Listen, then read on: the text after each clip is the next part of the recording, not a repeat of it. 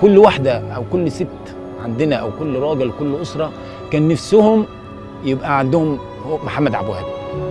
طموحاتهم كلها إن يبقى اولادهم صورة من محمد عبد الوهاب.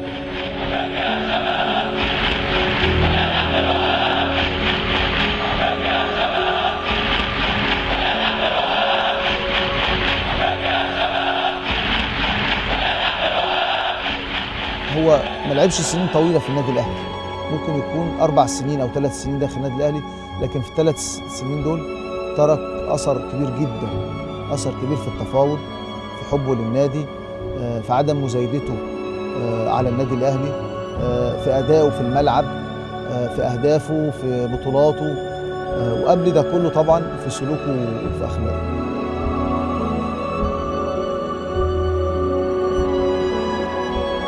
ابو وهاب درس. درس في الحياة ودرس في الممات. درس في حياته عمره قصير لكن طويل جدا جدا جدا جدا من الأحداث.